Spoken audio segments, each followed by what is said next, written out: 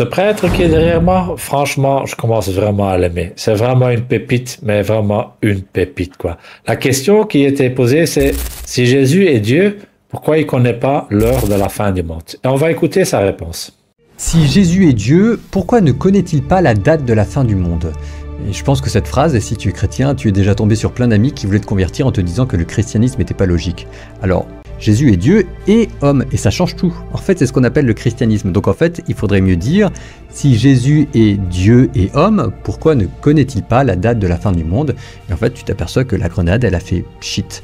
Parce que l'omniscience pour Dieu, c'est de tout connaître, et l'omniscience pour Jésus, c'est tout ce qu'il veut connaître, il peut le connaître. Et à ton avis, vouloir connaître la date de la fin du monde, est-ce que c'était une bonne chose?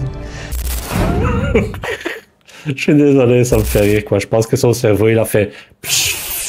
Subhanallah, mais non, franchement, c'est vraiment une preuve qu'en fait, ces gens-là, ils racontent n'importe quoi.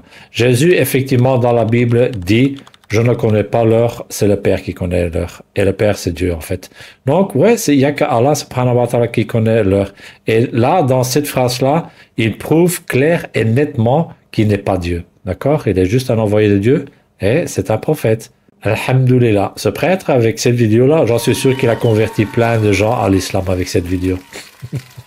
Allez, merci d'avoir regardé. Assalamu alaikum wa rahmatullahi wa barakatuh.